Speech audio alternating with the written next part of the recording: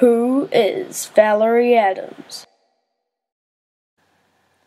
Valerie Kasanita Adams, formerly known as Valerie Vili, born on the 6th of October 1984, is a shot putter from New Zealand. She is a four time world champion, three time world indoor champion, and two time Olympic and Commonwealth champion. She currently holds the New Zealand, Oceanian, Commonwealth, and Equal World Championship records with a personal best throw of 21.24 meters.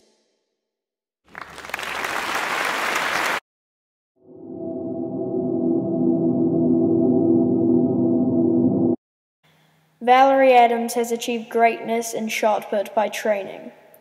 She met Kirsten Hellier in 1998, and this proved to be a turning point in her life. The pair combined for the next 11 and a half years until their relationship broke in 2010. In that time, Hellier, a former javelin champion, was Adams' friend, mentor, advisor, and coach.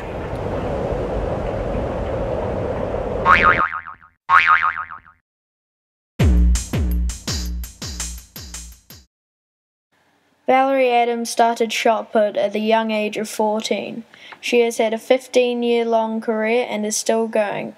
Over that time, she has won various titles and competitions. What is Valerie Adams?